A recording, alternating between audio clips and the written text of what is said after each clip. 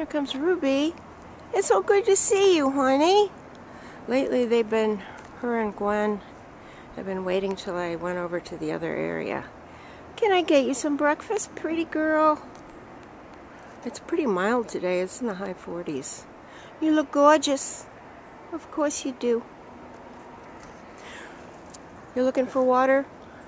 No, just a place to sit. Okay, let's get you breakfast. I love to see Ruby eat a good breakfast, and she's she had one packet, and I turned her around, and her dish was empty, so I gave her a second packet. She loves this stuff.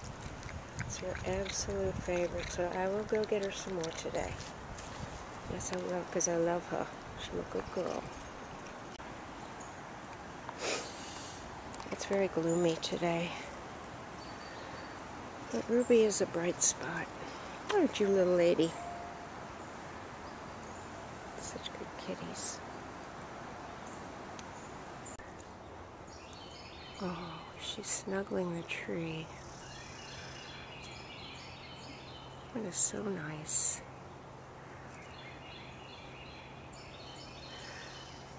We should all snuggle a tree in the morning. Yeah.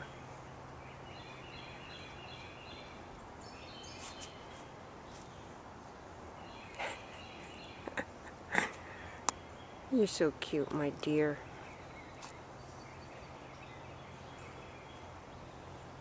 I've never seen her do this before. You're so dear, honey bunny. Let's see if she ate anything. Uh, a little bit. Hey there, Ruby. Ruby ate all her packet number one.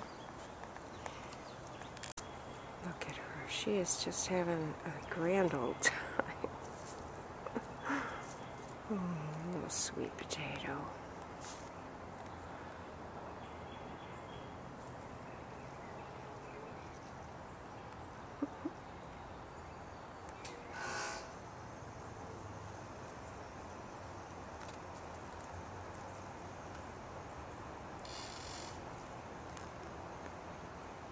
What a beautiful girl.